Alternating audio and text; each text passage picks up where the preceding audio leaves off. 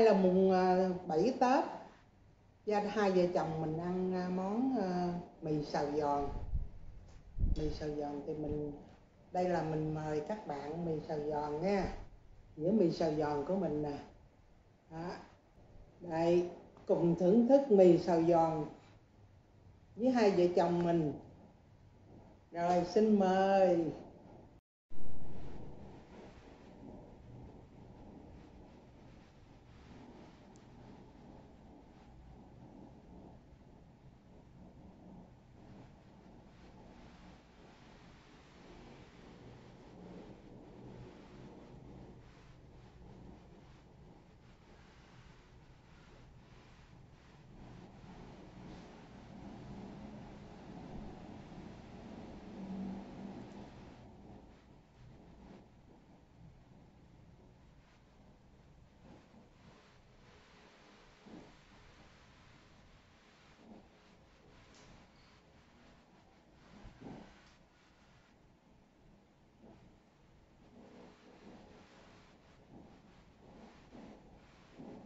chào cả nhà nha.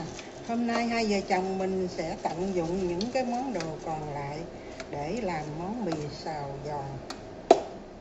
Mì xào giòn bây giờ mình bắt chảo lên để mình xào mì nè. Cái mì này á, là mình mua mì tươi á. Mì tươi ngoài tiệm người ta người ta bán uh, mì đó. Mình mua về mình đi chiên.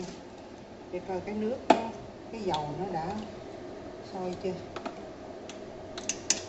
Đó chút xíu, dầu sôi rồi mình để vô. Trước khi mình để vô, mình vũ cái dắt mì. Sẵn cái nồi nó mở nóng rồi mình để vô liền cái cũng, đó, nó phù lên. Rồi cái nồi này nóng sẵn nè, bởi vì nó ờ, cái mì nó phù lên lẹo á, mà nó xốp nữa nha. Đẹp quá chừng luôn. Hai vợ chồng thì hai dĩa nè. Thử thách ăn một người một dĩa cho hết thôi. Ngon quá các bạn ơi là nó nổi phù lên đẹp quá nè ha. Mình à, chiên cái này mình không có hạ tiện dầu được. Để dầu cho nó nhiều nó mới nở đẹp.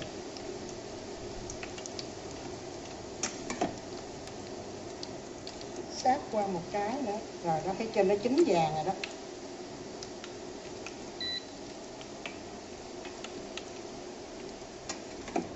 Rồi. cái mình đi chợ mình cũng hay ăn mì xào giòn khi nào mà đột xuất thì mình cũng hay ăn lắm. Nhưng mà à, mì á, người ta mua mì à, ký á. Mình thử không có ngon.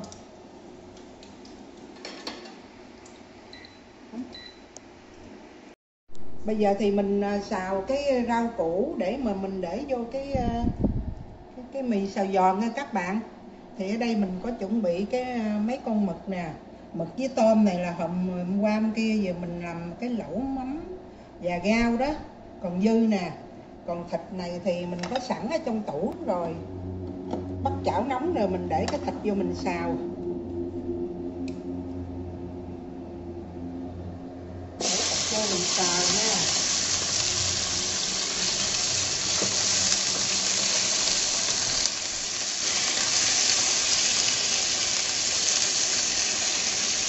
cắt miếng bự bự mình ăn cho cái miệng nha các bạn tận dụng những cái uh, nguyên liệu còn ở trong tủ lạnh nè mình làm được cái món mì xào giòn chỉ mua hai giấc mì thôi. Cải cà rốt nó có sẵn luôn. Củ hành cũng có sẵn. Đó. Xào lên thịt cho nó chín nha. Chín rồi mình uh, mình đập ba dập ba mấy cái tỏi nè. Mình để vô luôn. Cho nó thơm.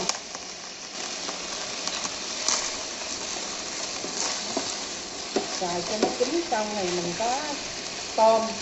Tôm này, này mình cũng luộc sẵn. Mực cũng luộc sẵn.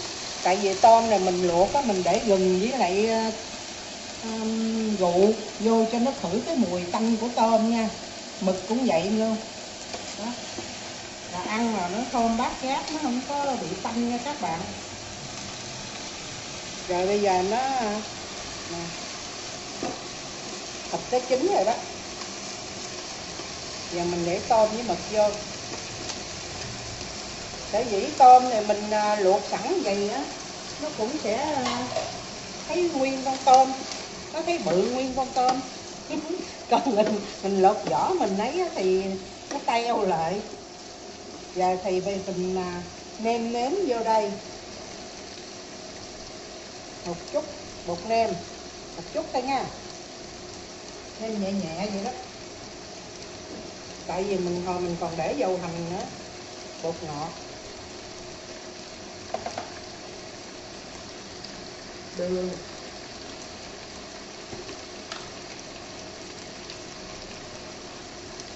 Đường rồi à, một miếng dầu hào.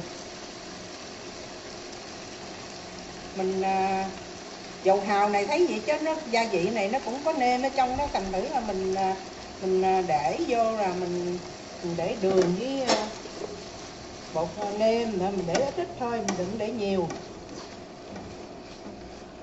Đó. cho thêm một chút uh, tương trà nữa.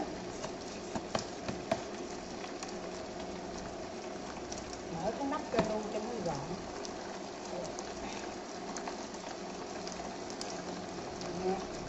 thêm miếng tương cà nữa.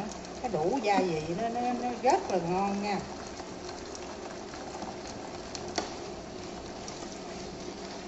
Rau củ quả thì mình cũng đã luộc rồi thành thử mình xào cái này xong mình để rau củ quả vô là vừa nha các bạn. Đó bây giờ cái uh, cà rốt nè mình cũng luộc nhẹ nó qua một cái rồi.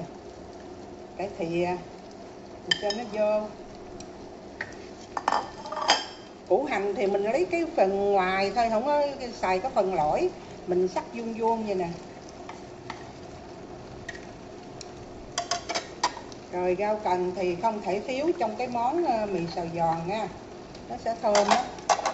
Bây giờ mình sẽ xào đảo nó lên đều đảo nó lên đều như vậy nó xong rồi mình để một chút bột năng vô. Ấy không? Phải bột bắp. Cho nó có cái độ sệt á.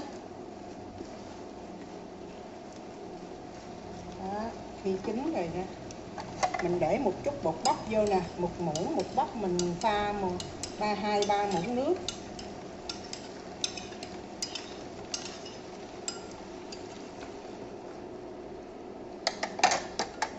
Đó, nó có cái độ sệt mình để vô mì rất là ngon nha các bạn.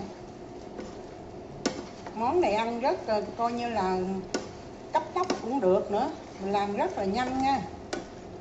Món mì xào giòn cấp tốc đi. Mình cho món ờ, kêu cái món này là vậy đi. Tại vì nó rất là thuận tiện nè. Nó không có nấu ầm ỉ lâu lắm. Rồi mình cho một miếng uh, miếng tiêu đây là cái món không thể thiếu.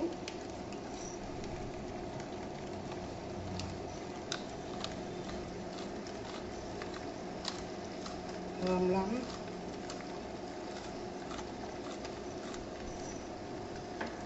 Mình đảo qua lại thêm lần cho nó thấm nha. Rồi.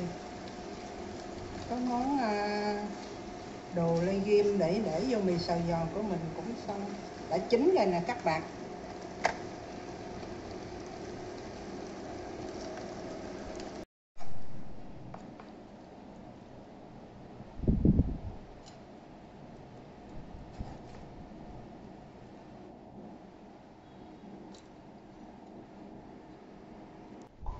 Rồi xã ơi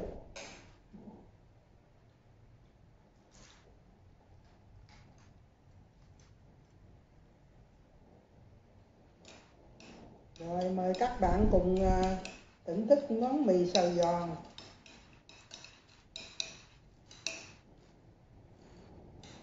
Tiêu không không các bạn biết làm sao cái món này á, mình thích mà ngày xưa ba mình cũng thích lắm. Đi đâu là vô nhà hàng là kêu món mì xào giòn À, mình có cái gen giống ba là thích món mì xào dầu ghiền lắm, đi ăn ha. Bữa nào làm biến nấu cơm, cái đi ăn là ông xã à, kêu cơm cơm xào, còn mình thì mì xào giòn. Bây giờ mời các bạn cùng à, cùng ăn với mình. Đây, thưởng thức cái con con mực. Thưởng thức cái mì trước nè ừ. rồi xin mời các bạn nha. Ngon quá. Cái mì mà như cái mì cái mì trứng ha. Đúng rồi. Không? Mì tươi. Tươi. À mì tươi. Mì rất tươi. Gì nó giòn ngon quá. Thêm miếng à, miếng nước sốt. Hồi nãy mình không có dám chan nhiều chan nhiều sợ nó nở cái mì á các bạn. Cũng được sắc hấp dẫn quá.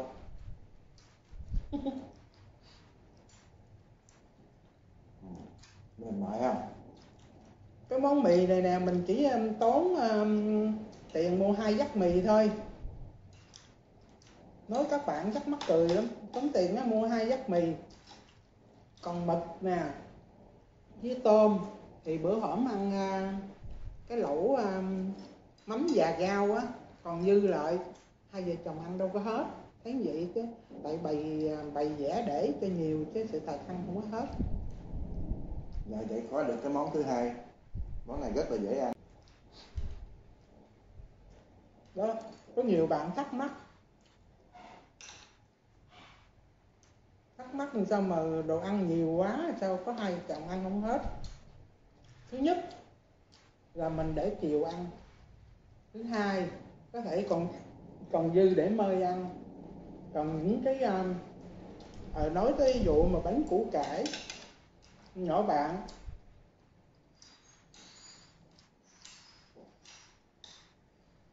Bữa mùng 4 mình đi Long Phú chơi đó nhỏ bạn nói trời ơi cái món bánh tao yêu thích mày thấy tao comment trong à, trong đó không?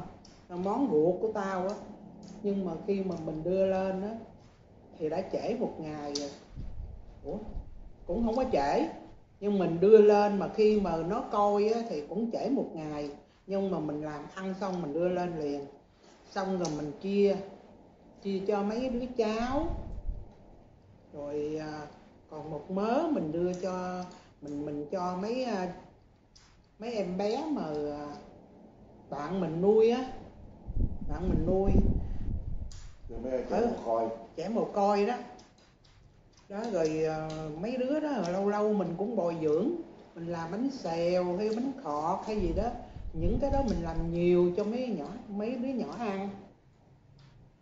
Đó, thành thử ra các bạn đừng có lo, đồ ăn của mình không có dư. Nó, thậm chí nó còn thiếu nữa. Bữa trước là mình ờ, mình cho cái gì nó còn thiếu nữa đó, mình cho nhiều lắm đó, mà còn thiếu nữa. Thành thử là mình làm nhiều, mình để cái bánh ờ, củ cải mình đưa lên ờ, một sửng gì đó, rồi còn ở ngoài nữa, chứ không phải bao nhiêu đó thôi. Đó, mình, cái đội hậu bị của mình nhiều lắm. Mình thử ờ, không có không có so không có lo sợ ế. Tội nghiệp mấy đứa mồ côi đó cái cưng lắm. Ăn khen ngon quá trời ngon. Một đứa hai, ba cái, hai, ba cái. Bạn mình à, điện lại trời ơi mai ơi nó ăn nó ngon quá nó khen ngon quá nước mắm ngon quá này kia nọ đồ chua cũng ngon quá. Bữa trước mình cũng làm bánh xèo cũng vậy nữa đó. Bởi vì à, đồ ăn của mình không có sợ ế. Mời các bạn ăn mì ấy nha. Mì này là mì à, mì tươi. Mì tươi mấy người bán tiệm mì đó. Mình chia lại của người ta. Mình đi uh, chiên lại nó ngon lắm. Nó mới nó giòn nữa. Còn à, ở chợ cũng có bán nhưng mà à, mình nếu mà gặp cái lúc mà mình mua mà người ta mới chiên đem ra là hết sảy. Còn cái lúc mà để chậm hơn bữa hay là tới chiều á nó người ta mở ra mở vô bán á sợ nó mềm. Bị dai là hết ngon. Nên là tiên ăn liền ha. Ở mình nêm nếm anh ăn gì vừa không vừa ông chấm thêm chút xíu thịt ra nếu mà nước tương thịt mình nêm nếm vậy đó. Mà ăn nó vừa nhất là cái um, dầu hào á. Mình để vô nó nó có gia vị sẵn hết trơn rồi. Thành thử mình à, mình nêm mà mặn chút nữa thì cái này nó mặn chát ăn không ngon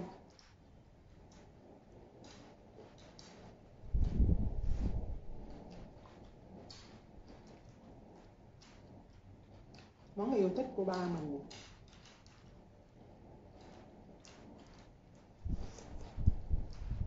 bây giờ ngon quá dĩa này là dư sức hết. Nhưng mà hết thì cái thời gian nó rất là dài. Chứ phải vì cái dĩa này quá ngon.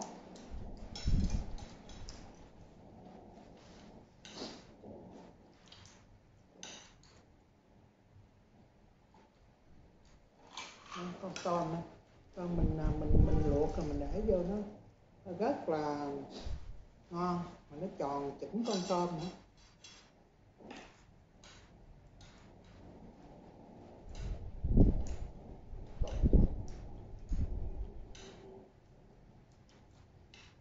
Một kia một nam ngon quá các bạn ơi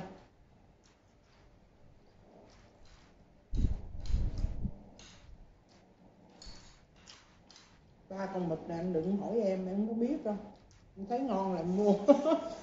Thấy ngon là mua chứ không biết mực ống mực gì á. Biết con mực nang nè. Mùa này mực nhóc hết trơn Ừ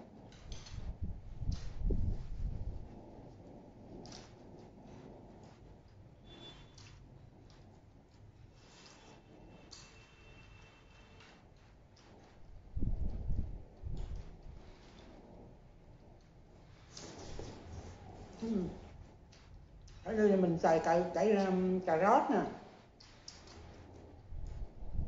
Cà rốt cải thìa hạt dâm với mực với tôm. Không quên rau cần. Củ hành nữa. Rồi món này á, là mình phải có rau cần nó mới thơm củ hành mình à, bỏ cái lỗi chính à, giữa, mình cắt cái bìa.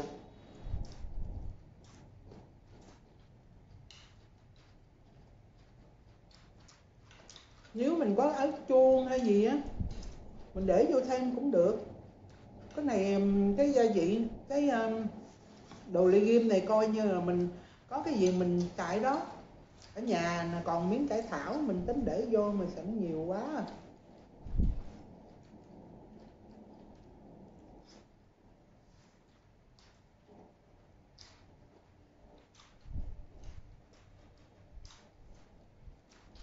Ừ.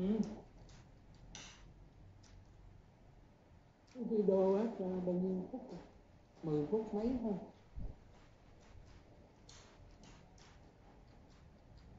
thời lượng video nó cũng dài quá à.